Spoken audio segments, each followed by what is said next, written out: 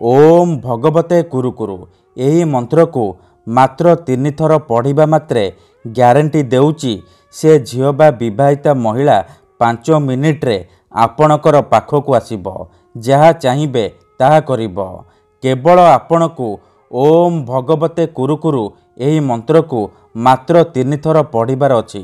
ତାପରେ ଦେଖିବେ ଚମତ୍କାର।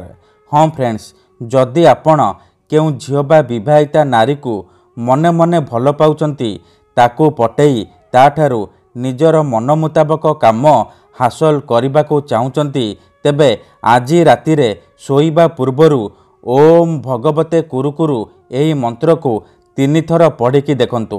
ଗ୍ୟାରେଣ୍ଟି ଦେଉଛି ଯେଉଁ ଝିଅ ବା ସ୍ତ୍ରୀ ପାଇଁ ଆପଣ ଏହି ମନ୍ତ୍ରକୁ ପଢ଼ିବେ ସିଏ ଆପଣଙ୍କ ପାଖକୁ ଆସିବା ପାଇଁ ବାଧ୍ୟ ହେବ। ଯାହା ଚାହିଁବେ ତାହା କରିବ। ଆପଣଙ୍କର ସବୁ ଇଚ୍ଛା ପୂରଣ କରିବ।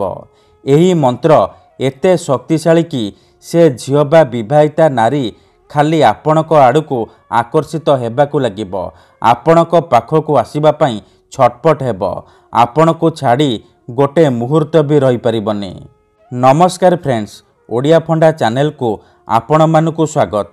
ଆଜିର ଏହି ଭିଡ଼ିଓଟିରେ ମୁଁ ଆପଣଙ୍କୁ ଏମିତି ଏକ ମହାଶକ୍ତିଶାଳୀ ମନ୍ତ୍ର ବତେଇବି ଏହି ମନ୍ତ୍ରକୁ ଆପଣ ତିନିଥର ପଢ଼ିବାର ଅଛି। ତାପରେ ଦେଖିବେ ଚମତ୍କାର। କିପରି ସେ ଝିଅ ବା ବିବାହିତା ନାରୀ ନିଜେ ଆସି ଆପଣଙ୍କ ସହିତ କଥା ହେବ ଆପଣଙ୍କୁ ଭଲ ପାଉଛି ବୋଲି କହିବ। ଯେଉଁ ବିବାହିତା ନାରୀର ସୁନ୍ଦରତାକୁ ଦେଖି ଆପଣ ତାକୁ ଦିନରାତି ଭାବୁଛନ୍ତି ସିଏ ନିଜେ ଆପଣଙ୍କୁ ଫୋନ୍ କରିବ ଘରକୁ ଡାକିବ ଯାହା ଚାହିଁବେ ତାହା କରିବ। ଏହି ବିଧିକୁ କେଉଁ ବି ପୁଅ ବା ଝିଅ ଅତି ସହଜରେ କରିପାରିବେ। ନିଜ ପ୍ରେମକୁ ପାଇବା ପାଇଁ ଏହି ବିଧିର ପ୍ରୟୋଗ କରିପାରିବେ କିମ୍ବା କେଉଁ ବି କୁଆଁରୀ ଝିଅ ବା ବିବାହିତା ନାରୀକୁ ପଟେଇବା ପାଇଁ ମଧ୍ୟ ଆପଣ ଏହି ବଶୀକରଣକୁ ପ୍ରୟୋଗ କରିପାରିବେ। ଏହି ମନ୍ତ୍ର ଏତେ ଶକ୍ତିଶାଳୀ କି ଯିଏ ବି ଏହାକୁ ପାଠ କରିଛି ସଫଳ ହେଇଛି। ବର୍ଷ ବର୍ଷ ଧରି ଭାଙ୍ଗି ଯାଇଥିବା ପୁରୁଣା ପ୍ରେମକୁ ଫେରାଇ ଆଣିପାରିଛି। ଶାଶୁ ନଣନ୍ଦ ଦିଅର ଭାଉଜ କାହାକୁ ବି ନିଜ ବଶରେ କରି ତାଠାରୁ ନିଜର ମନ ମୁତାବକ କାମ ହାସଲ କରିପାରିଛି। କେବଳ ଆପଣଙ୍କୁ ରାତିରେ ଶୋଇବା ପୂର୍ବରୁ ଓମ୍ ଭଗବତେ କୁରୁକୁରୁ ଏହି ମନ୍ତ୍ରକୁ ମାତ୍ର ତିନିଥର ପଢ଼ିବାର ଅଛି। ତାପରେ ଦେଖିବେ ଚମତ୍କାର। କିପରି ସେ ଝିଅ ବା ବିବାହିତା ନାରୀ ସେହି ସମୟଠାରୁ ଆପଣଙ୍କର ବଶରେ ହୋଇଯିବ ଆପଣଙ୍କର ଗୁଲାମୀ କରିବ ଆପଣଙ୍କ ପାଖକୁ ଆସିବା ପାଇଁ ବାଧ୍ୟ ହେବ। ଯଦି କେଉଁ ଝିଅ ଆପଣଙ୍କୁ ଧୋକା ଦେଇଛି ଆପଣଙ୍କ ନମ୍ବର ବ୍ଲକ୍ କରିଦେଇଛି ଅନ୍ୟ କାହା ସହିତ କଥା ହେଉଛି ଅନ୍ୟ କାହାକୁ ଭଲ ପାଉଛି ଆଉ ଆପଣ ନିଜ ପ୍ରେମକୁ ଫେରି ପାଇବାକୁ ଚାହୁଁଛନ୍ତି ତେବେ ଆଜି ରାତିରେ ଶୋଇବା ପୂର୍ବରୁ ଏହି ମନ୍ତ୍ରକୁ ମାତ୍ର ତିନିଥର ପଢ଼ିକି ଦେଖନ୍ତୁ। ଗ୍ୟାରେଣ୍ଟି ଦେଉଛି ସେ ଝିଅ ଯେତେ ଦୂରରେ ଥିଲେ ମଧ୍ୟ ରାତିଦିନ ଆପଣଙ୍କ କଥା ଭାବିବ। ନିଜେ ଆସିବ ଆପଣଙ୍କର ପାଦ ତଳେ ପଡ଼ିବ ଆପଣଙ୍କୁ ଭଲ ପାଉଛି ବୋଲି କହିବ।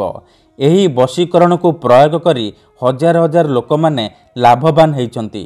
ତେଣୁ ଆପଣ ବି ବିଶ୍ୱାସର ସହିତ ମାତ୍ର ଗୋଟିଏ ଥର କରିକି ଦେଖନ୍ତୁ। ଗ୍ୟାରେଣ୍ଟି ଦେଉଛି ଯେଉଁ ଝିଅ ବା ସ୍ତ୍ରୀ ଉପରେ ଆପଣ ଏହି ବଶୀକରଣକୁ ମାତ୍ର ଗୋଟିଏ ଥର ପ୍ରୟୋଗ କରିଦେବେ ସିଏ ସେହି ସମୟଠାରୁ ଆପଣଙ୍କର ବଶରେ ହୋଇଯିବ ଆପଣଙ୍କର ଇସାରାରେ ନାଚିବ ଆପଣଙ୍କର ସବୁ ଇଚ୍ଛା ପୂରଣ କରିବ। ତେବେ ଏହି ବିଧିକୁ ଆପଣ କିପରି କରିବେ ମୁଁ ଆପଣଙ୍କୁ ବତେଇବି। ସମ୍ପୂର୍ଣ୍ଣ ପ୍ରୟୋଗ ବିଧି ଠିକ୍ ଭାବରେ ବତେଇବି। ଜାଣିବା ପାଇଁ ଭିଡ଼ିଓଟିକୁ ପୁରା ଶେଷ ପର୍ଯ୍ୟନ୍ତ ଦେଖିବେ।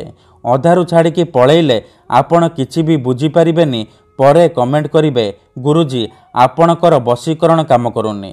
ଦେଖନ୍ତୁ ଯେଉଁପରି ଆପଣ ଭଗବାନଙ୍କୁ ମାନୁଛନ୍ତି ଭଗବାନଙ୍କ ଉପରେ ବିଶ୍ୱାସ ରଖିଛନ୍ତି ନିଜର ସବୁ ଦୁଃଖ କଷ୍ଟ ଅସୁବିଧା ଭଗବାନଙ୍କୁ ଜଣାଉଛନ୍ତି ଯଦି ସେ ଅସୁବିଧାର ସମାଧାନ ନ ହେଲା ତାର ମାନେ ନୁହେଁ କି ଭଗବାନ ନାହାନ୍ତି।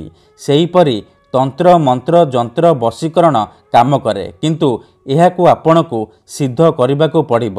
ପ୍ରୟୋଗ ବିଧି ଠିକ୍ ଭାବରେ କରିବାକୁ ପଡ଼ିବ। ମୁଁ ଆପଣଙ୍କୁ ଯେମିତି ବତେଇବି ଆପଣଙ୍କୁ ଠିକ୍ ସେହିପରି କରିବାକୁ ପଡ଼ିବ। ତେବେ ଯାଇ ମୁଁ ଆପଣଙ୍କୁ ଗ୍ୟାରେଣ୍ଟି ଦେଉଛି ଆପଣ ଯାହାକୁ ଚାହିଁବେ ତାକୁ ଅତି ସହଜରେ ନିଜ ବଶରେ କରିପାରିବେ। କେଉଁ ବି କୁଆଁରୀ ଝିଅ ବା ବିବାହିତା ନାରୀକୁ ନିଜ ବଶରେ କରିପାରିବେ। ମୁହୂର୍ତ୍ତକ ଭିତରେ ଆପଣ ଏହି ବଶୀକରଣକୁ କରିପାରିବେ। ତେଣୁ ମୋର ଆପଣମାନଙ୍କୁ ଅନୁରୋଧ କି ମନରେ କୌଣସି ଖରାପ ଉଦ୍ଦେଶ୍ୟ କିମ୍ବା କୌଣସି ଖରାପ କାମ ପାଇଁ ଆପଣ ଏହି ମନ୍ତ୍ରକୁ ପ୍ରୟୋଗ କରିବେନି। କାହିଁକି ନା ଏହି ମନ୍ତ୍ରର କୌଣସି ପ୍ରକାର କାଟ ନାହିଁ। ଯେଉଁ ଝିଅ ବା ବିବାହିତା ନାରୀ ଉପରେ ଆପଣ ଏହି ମନ୍ତ୍ରକୁ ଗୋଟିଏ ଥର ପ୍ରୟୋଗ କରିଦେବେ ସିଏ ଆପଣଙ୍କ ଆଡ଼କୁ ଆକର୍ଷିତ ହେବାକୁ ଲାଗିବ ଆପଣଙ୍କୁ ଭଲ ପାଇବାକୁ ଲାଗିବ ଆପଣଙ୍କୁ ଛାଡ଼ି ଗୋଟେ ମୁହୂର୍ତ୍ତ ବି ରହିପାରିବନି। କେବଳ ଆପଣଙ୍କୁ ରାତିରେ ଶୋଇବା ପୂର୍ବରୁ ଓମ୍ ଭଗବତେ କୁରୁକୁରୁ ଏହି ମନ୍ତ୍ରକୁ ମାତ୍ର ତିନିଥର ପଢ଼ିବାର ଅଛି ତାପରେ ଦେଖିବେ ଚମତ୍କାର। ତେବେ ଏହି ବିଧିକୁ ଆପଣ କିପରି କରିବେ ମୁଁ ଆପଣଙ୍କୁ ବତେଇବି। ସମ୍ପୂର୍ଣ୍ଣ ପ୍ରୟୋଗ ବିଧି ଠିକ୍ ଭାବରେ ବତେଇବି। ଜାଣିବା ପାଇଁ ଭିଡ଼ିଓଟିକୁ ଶେଷ ପର୍ଯ୍ୟନ୍ତ ଦେଖନ୍ତୁ। ତେବେ ମନେ ରଖନ୍ତୁ ଏହି ବଶୀକରଣ ବିଧିକୁ ଆପଣ କେବଳ ମଙ୍ଗଳବାର ଗୁରୁବାର ଆଉ ଶନିବାର ଦିନ କରିପାରିବେ। ରାତିରେ ଶୋଇବା ପୂର୍ବରୁ କରିବେ। ଯେଉଁ ଝିଅ ବା ସ୍ତ୍ରୀକୁ ଆପଣ ବଶୀକରଣ କରିବାକୁ ଚାହୁଁଛନ୍ତି ତାକୁ ମନେ ମନେ ଭାବି ଆପଣ ଏହି ବିଧିକୁ ଆରମ୍ଭ କରିବେ। ବିଧିଟି କରିବା ପୂର୍ବରୁ ଆପଣ ଭଲ ଭାବରେ ହାତ ଗୋଡ଼ ମୁହଁ ଧୋଇ ସଫା ବସ୍ତ୍ର ପିନ୍ଧି ଏହି ବଶୀକରଣ ବିଧିକୁ ଆରମ୍ଭ କରିବେ। ନିଜ ବିଛଣା ଉପରେ ବସିକି ଆପଣ ଏହି ବଶୀକରଣ ବିଧିକୁ କରିବେ। ପ୍ରଥମେ ଆପଣ କ'ଣ କରିବେ? ଆଖି ବନ୍ଦ କରି ସେ ଝିଅ ବା ବିବାହିତା ନାରୀକୁ ମନେ ମନେ ଭାବିବେ।